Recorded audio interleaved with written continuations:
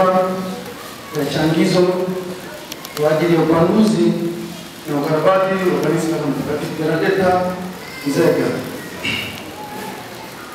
Mheshimiwa mgeni rasmi, ndugu yetu Paulo Chacha, mkuu wa mkoa wa Tabora, Madama Thomas Kardinali Rugambwa, askofu mkuu jimbo Katoliki Tabora,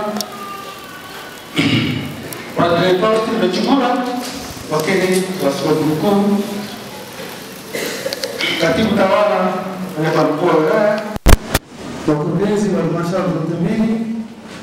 Padre Peter paroko wa parokia Mtakatifu Nzega, Padre Antipas wakili parokia ya Mtakatifu paroko parokia Mtakatifu Nzega,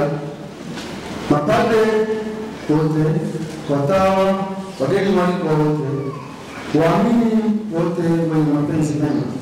Tumsifu Yesu Kristo.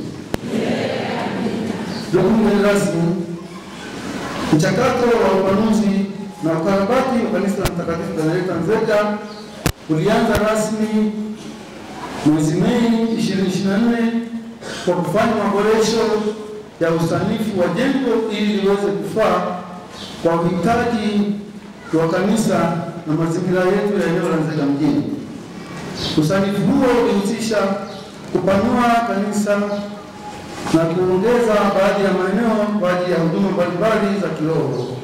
Maeneo hayo pamoja na sakristia, madhabahu na eneo la kukaa waamini wakati wa maadhimisho mbalimbali.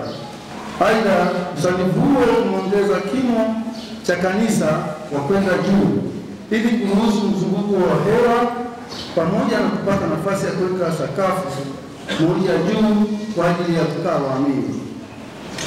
Mgeni rasmi, kutokana na maboresho hayo yanayotarajiwa kufanyika katika jengo hili la kanisa tunamotali sasa, tunatarajia yatagharimu kiasi cha shilingi milioni mia nne sabini na nne elfu laki mbili tisini na nne mia tisa na ishirini na tatu nukta saba sita ili kukamilisha kazi yote kwa mujibu wa makadirio ya mhandisi.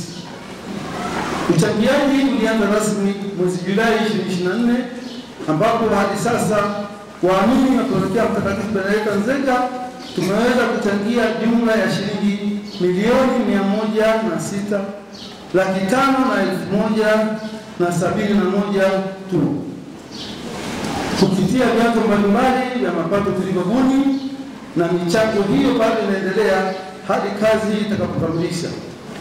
Hata leo hii sisi wanuraha raha na heshima kubwa kushiriki nawe katika adhimisho la misa takatifu pamoja na kushiriki nasi katika changizo la kufanikisha shughuli hii iliyoko mbele yetu ya ukarabati na, na upanuzi wa kanisa ambalo tayari tumekwisha ianza. Ndugu mgeni rasmi, sisi waamini wa parokia Mtakatifu Bernadeta Nzega tunakukaribisha sana wewe pamoja na wote ulioambatana nao kuja kutuunga mkono katika kufanikisha shughuli hii kubwa ya kimungu iliyo mbele yetu, na Mwenyezi Mungu azidi kuwabariki sana. Naomba kuwasilisha. Tumsifu Yesu Kristo.